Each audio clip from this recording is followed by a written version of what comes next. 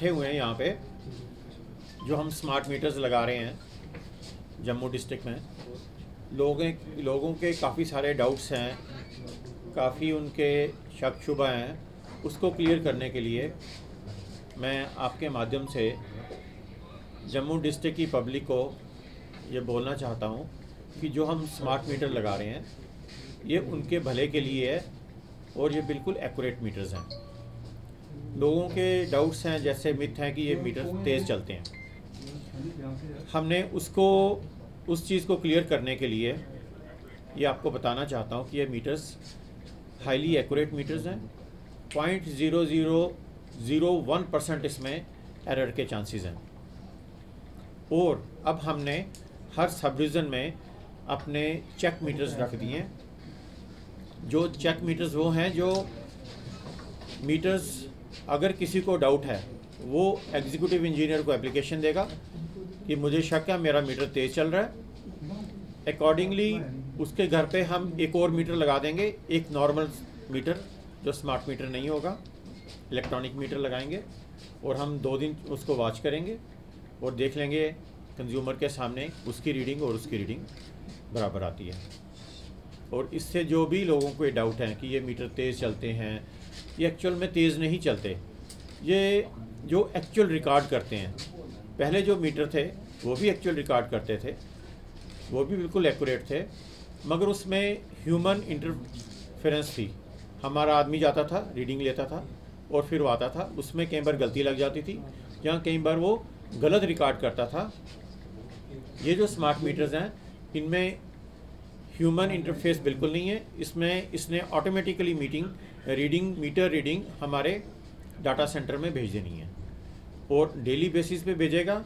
और हर कंज्यूमर उसमें सबसे बड़ी अच्छी बात यह है कि हर कंज्यूमर अपने मोबाइल पे अपनी आईडी डाल के अपनी रोज़ की रीडिंग चेक कर सकता है कि मेरी आज की कंजप्शन तीन यूनिट है, आज की कंजप्शन दस यूनिट है। क्यों दस यूनिट है? मैं तीन करना चाहता हूँ तो कम इस्तेमाल करें बिजली, वो तीन हो जाएगी। अकॉर्डिंगली वो देख सकता है कि मेरी हर रोज़ बिजली कितनी कंज्यूम हो रही है।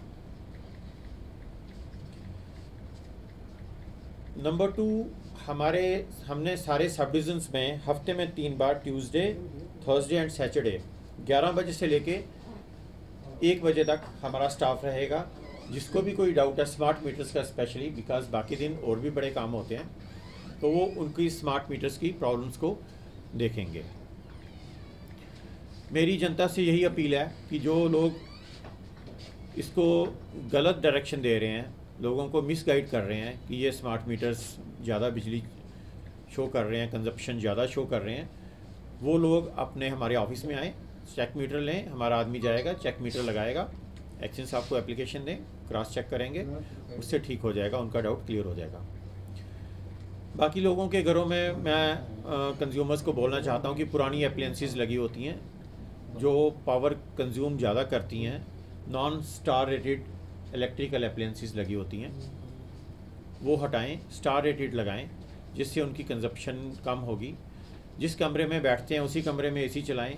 एसी का टेम्परेचर जो है वो 24 डिग्री 26 डिग्री रखें, साथ में फ़ैन चलाएँ कूलिंग ज़्यादा होगी। अगर आप स्टार रेटेड यूज़ करते हैं तो भी उससे एफिशिएंसी होगी और पावर कंजप्शन जो है वो कम होगी। हीटर मत इस्तेमाल करें, जिस कमरे में बैठे, उसी कमरे में इलेक्ट्रिसिटी यूज़ करें, बाद में बाहर जब निकलते हैं तो उसको ऑफ़ कर दें, आपकी कंजप्शन अपने आप डाउट कम हो जाएगी। और जो लोग गुमराह कर रहे हैं कि ये मीटर फास्ट चलते हैं, उनकी बातों में नहीं आए डिपार्टमेंट के साथ साथ दें। और जिसको भी अपनी रीडिंग चेक करनी है, वो अपनी ऐप हमने यहाँ पर प्रिंट करके रखी हुई है। ये हमारा है जे स्मार्ट मीटर्स इसको लॉगिन करें, इसमें अपनी आईडी डालें और उसमें उनको अपनी कंजप्शन पता चल जाएगी बिल भी पता चल जाएगा, सारी रीडिंग आ जाएगी। इस, इसके अंदर, इस स्मार्ट मीटर में आपको इतने सारे फीचर्स हैं कि आप हर रोज़ का बिल देख सकते हो ऑनलाइन आप बिल पेमेंट कर सकते हो, अपनी कंजप्शन चेक कर सकते हो, अपनी कंजप्शन जब आपकी बढ़ेगी तो आप कंट्रोल कर सकते हो by switching off your unnecessary appliances जो पुरानी आपकी मोटरें हैं, उनको रिप्लेस कर लीजिए अगर वो बड़ी पावर खा, ज़्यादा पावर खाती हैं। अब कई लोग बोलते हैं कि हम घर पे भी नहीं होते हैं, मगर हमारा मीटर चलता है। उसके लिए जो आपके घर में इन्वर्टर लगा हुआ है, वो कंटिन्यूसली पावर कंज्यूम कर रहा होता है। जो आपका फ्रिज है, वो कंटिन्यूसली पावर कंज्यूम कर रहा होता है। अगर आपका इन्वर्टर और फ्रिज भी नहीं है, बंद है तो भी जो आपका स्टेप अप ट्रांसफार्मर है, वो भी पावर कंज्यूम करता है। अगर आप घर पे नहीं हैं, बाहर जा रहे हैं, हफ़्ते के लिए, दस दिन के लिए तो बिल्कुल मीटर से जो लाइन आ रही है वो, उसके बाद जो मेन स्विच है, उसे ऑफ़ कीजिए। आपकी कंजप्शन ज़ीरो रहेगी। As long as that switch is off और इसके बारे में और कुछ बोलना चाहेंगे? हमारे एसी साहब हैं यहाँ पे, ये भी एसी साहब हैं। ये हमारे आईटी के इंजीनियर्स हैं, सारी टीम बैठी हुई है। तो बताइए आप कुछ। मीटर और जब जल जाएँगे तो हमें इसकी रिप्लेसमेंट कास्ट देनी पड़ेगी। ये पाँच साल की अंडर वारंटी पीरियड्स में हैं। जब भी डैमेज होंगे इसकी कोई रिप्लेसमेंट कास्ट नहीं देनी पड़ेगी।